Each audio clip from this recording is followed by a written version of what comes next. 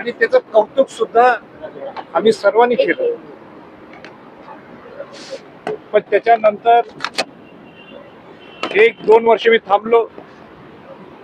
मी त्यावेळी जे मुख्यमंत्री तत्कालीन मुख्यमंत्री देवेंद्रजी फडणवीस असतील त्यानंतर उद्धवजी ठाकरे असतील मग एकनाथ शिंदे असेल परत देवेंद्र फडणवीस साहेब मिळून असतील यांना वेळोवेळी मी विचारलं की शिवस्मारकाच्या बाबतीत तुमची भूमिका काय?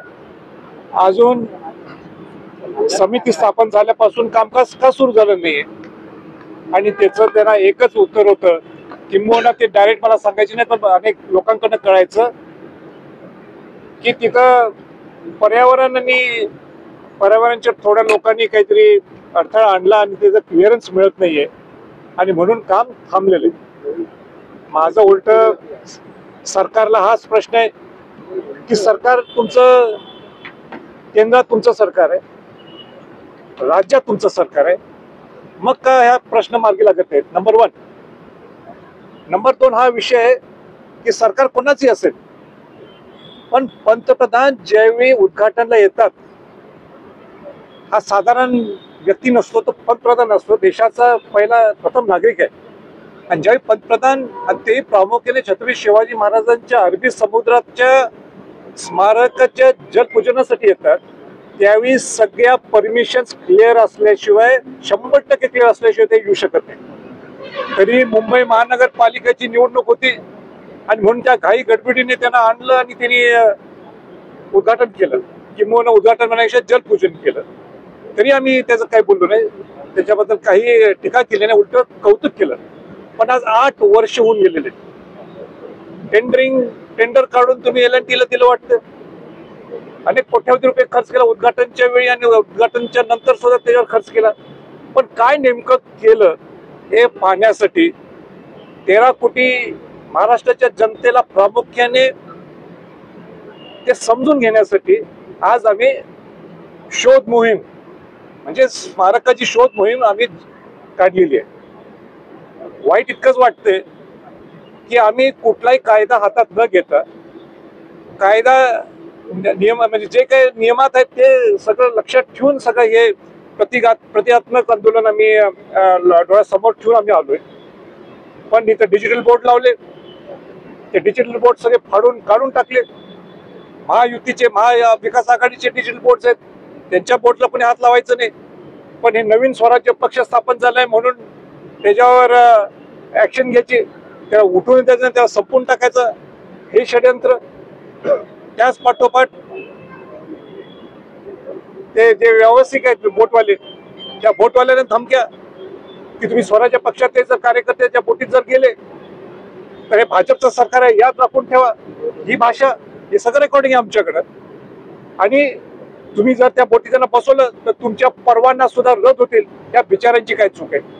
आणि आमचं क्लिअर कट ठरलेलं आहे की जिथं परवानगी आहे तिथं पर्यंतच जायचंय आम्हाला. आम्हाला तिथं जिथं जिथं स्मारक होणार आहे जिथं दगडाची रचना आहे तिथं तिथं आम्ही कुठं म्हणतो जायचंय?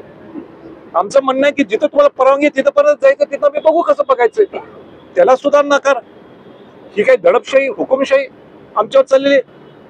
मुघलशाही सारखं वागतात आणि असं असलं आम्ही खपून घेणार. आणि आमची भूमिका आम्ही जाऊन शोध मोहीम करायची. भूमिका जर चुकी असेल तर त्यांनी सांगावं. काय चुकीचं करतोय मी याच्यात तुमच्याकडे चूक होते. आणि नरेंद्र मोदी पंतप्रधान आम्ही त्यांच्या त्यांना आम्ही विचारपूस करतो. की आम्हाला जो घटनात्मक अधिकार दिला त्याच्यातनं आम्ही त्यांना विचारतो की जे पंतप्रधान येतात परवानगी सगळ्यात क्लिअर असल्याशिवाय घेऊ शकत नाही. तुम्ही आला तर ठीक आहे कौतुक आहे आम्ही केलं. पण आता काहीच काम नाही आठ वर्षात. आणि आठ वर्षात जर काम होत नसेल आणि आम्ही जर विचारलं तर आम्ही चुकीचं आहे. आम्ही तुम्हाला सगळे अडवणार. काल पास दोन दिवसापासून एवढं ताब्यात घेतलेलं सगळ्याला. त्या खेरवाडी बॅनरचं पोलीस स्टेशन जे तो पी आय गुरव आहे. तिने तर ते बिचारे जे बोर्ड लावतात डिजिटल बोर्ड लावतात. त्याला ताब्यात घेतलं. मारहाण केली त्याला. आणि त्याला म्हटलं तुला माहिती आहे काय म्हटले सरकार कोणाचं आहे? भाजपचं सरकार आहे. ही भाषा. म्हणजे ही भाषा जर त्या पोलिसांची असेल म्हणजे याचा अर्थच काय? वरदस्त कोणाचं तर आहेच ना मग. पोलिसांनी तुम्हाला अडवलं हा त्यांचा प्रश्न आहे. मी प्रामाणिकपणे नाही अरे स्वराज्य पक्ष प्रामाणिकपणे काय चुकीचं करतोय? उलट माझं तर म्हणणं पंतप्रधान मोदीजींनी त्यांना विचारावं की माझ्या हस्ते तुम्ही गडबडीने उद्घाटन करून घेतलं जलपूजन करून घेतलं. आठ वर्षात काय का केलं नाही तुम्ही? आमचं मी पंतप्रधान आहे मी देशाचा पंतप्रधान आहे. तुमच्याकडे सत्ता आहे महाराष्ट्रात तुम्ही काय काय केलं नाही? कुठं विचारायला पाहिजे या सरकारला. आणि सरकारने ह्याचं उत्तर का दिलं नाही एवढं वर्ष म्हणजे शिवाजी महाराजांचं स्मारकाचं उद्घाटन करणं जलपूजन करणं पंतप्रधानांच्या हस्ते आणि लोकांना त्याचं उत्तर न देणं म्हणजे लोकांना फसवण्याचा प्रकार आहे तेरा कोटी महाराष्ट्राच्या जनतेला. ह्याचं उत्तर द्यावं लागेल त्यांना. आणि हे म्हणून हे शोध मोहीम आहे. आम्ही काही इथं येऊन कायदा हातात घ्यायला आलोय किंवा मोठं आंदोलन करायला आलोय. आम्ही नुसतं कायदेशीर पद्धतीने बोटीत बसून हे फेरफटका बनवून येणार आहे. वेळ प्रसंगी तिथं त्या खडक खडकची जागा ते जाता येत नसल्यामुळे लांब दुर्बिणी बघू आम्ही. हे हे सुद्धा दोषी आम्ही. म्हणजे आम्ही आमचा अधिकार वापरायचाच नाही. म्हणजे बाबासाहेब आंबेडकरांनी जी घटना घेऊन दिलेली आपल्यासाठी की ते आम्हाला स्वातंत्र्य विचारायचं. ही दडपशाहीत मुळीच चालणार. नाही नाही. हे बघा संजय राऊत काय बोलतात त्याला सगळ्या प्रश्नाला उत्तर मला द्यायचं आहे. ते ते त्यांच्या भावने भावनेपोटी ते ते बोलत असतील. आता उदयनराजे आणि संभाजीराजे हे दोन वेगळे घटक आहेत. मी आज स्वराज्य पक्षाच्या माध्यमातून आलोय. आणि म्हणून मी निघालोय. आता तो माझा अधिकार ते वेगळे वेगळे आंदोलन करत असेल मी वेगळे आंदोलन करतो. याचा अर्थ एक दोन वेगळे आहोत. बरोबर आहे असे सत्ताधारी बोलतात ना सत्ताधारी माझा पहिला प्रश्न आहे. मुंबई महानगरपालिकेची निवडणूक असताना त्याच्यासमोर असताना तुम्ही एक महिन्याच्या अगोदर तुम्ही उद्घाटन केलेलं आहे जलपूजन केलेलं आहे. त्यावेळी कसं चाललं? मग त्यावेळी आम्ही प्रश्न केला असता मी आणि मी आणि आम्ही सर्वजण तिथं होतो. मी त्यावेळी त्यांना प्रश्न केला असता की तुम्ही पुढे निवडणूक समोर ठेवून तुम्ही त्याचं जलपूजन करताय. हे बरोबर आहे का? पण मला एक सांगा हा प्रश्न मी आज नाही उठवलाय. हा स्वराज्य पक्ष म्हणून उठवलं हे मान्य करतो. कारण का स्वराज्य पक्ष आता आठवड्याच्या अगोदर रजिस्टर झालेला आहे. हा प्रश्न हा दोन हजार सोळा पासून एक दीड वर्षाच्या नंतर ज्यावेळी जलपूजन झाल्यानंतर मी वेळोवेळी उठवलेलं आहे. पत्रव्यवहार आहे. सांगू देत नाही म्हणून. मी जसं गटकोट किल्ल्यांचा विषय नेहमी उचलतो संवर्धन जतन होण्याच्या दृष्टिकोनातून त्या पद्धतीने मी त्यावेळी देवेंद्र फडणवीस मुख्यमंत्री असताना तत्कालीन मुख्यमंत्री ते विचारले. मग उद्धव ठाकरे मुख्यमंत्री असताना त्यांच्याशी माझी दोन तास चर्चा झालेली आहे. त्याच्यानंतर स्वतः एकनाथ शिंदे साहेब असतील किंवा आत्ता देवेंद्र फडणवीसांची सुद्धा माझी चर्चा झालेली आहे. मग त्यावेळी कुठं आले इलेक्शन त्यावेळी इलेक्शन कुठं आली?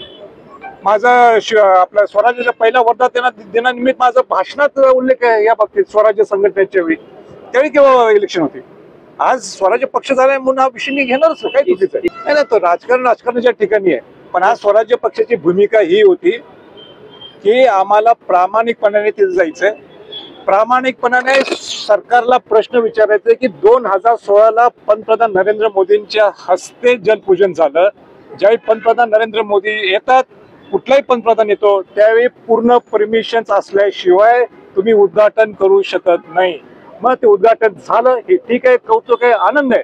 पण मग तुम्ही ह्या आठ वर्षात काम का पूर्ण झालं नाही किंवा काम चं संपन्न का झालं नाही हा आमचा सरकारला प्रश्न आहे आणि या तेरा कोटीच्या जनतेला ह्याचं उत्तर अपेक्षित आहे. हे बघा ते पुढचं पुढे बघून अजून अडवलं तर कुठे? अडवल्यावर बघू. पोलीस पण आम्ही काय आम्ही काय जाऊन कायदा हातात घ्यायला निघालो नाहीये. किंवा नियमाच्या बाहेर काय करायला गेलो नाही. पण कोणासाठी आहे? शिवाजी महाराजांचं स्मारक? पण ते मी नाही सांगितलं स्मारक व्हावं. हे पूर्वी सुशील कुमार शिंदे यांच्याकडनं आलेले. नंतर अशोकराव चव्हाणनी घोषणा केल्या. ते झालं नाही म्हणून दोन हजार चौदाला जाहीरनाम्यात आलं भाजपच्या. आणि दोन हजार सोळाला त्याचं जलपूजन झालं. आज ते पुढं हे किरकोळ नुसतं पुतळा नाही हा शिवाजी महाराजांचं स्मारक आहे. सरदार वल्लभभाई पटेलांचं जसं स्मारक गुजरातमध्ये तसं इथं तसं त्या क्षमतेचं त्या भव्यतेचं स्मारक होणार होतं. मग आमचा विचारण्याचा अधिकार आहे की नाही? हा साधा माझा प्रश्न आहे. तर जर सरकारकडे असेल ह्याचं उत्तर या पोलिसांच्याकडे असेल. त्यांनी तेव्हा मला पटेलांचा पुतळा हिरारीने उभा केला. त्यात महाराष्ट्र सरकार कमी पडलं. हीच दुजाभाव म्हणण्यापेक्षा मी तर म्हणतो हीच अपेक्षा सरदार वल्लभभाई पटेल सुद्धा एक मोठे महापुरुष होऊन गेले. त्यांचं इतकं चांगलं भव्य त्यांनी तिथं स्मारक उभा राहिलंय. मग छत्रपती शिवाजी महाराज तर देशाचे आहेत. जगाचे राजे आहेत ते. त्यांचं का नाही? हाच प्रश्न आहे. आणि हाच प्रश्न तुमच्यासाठी वतीनं स्वराज्य पक्षाच्या माध्यमातून पूर्ण तेरा कोटी जनतेला समजून घेण्यासाठी त्यांना त्याचं त्यांना समजून सांगण्यासाठी मी आज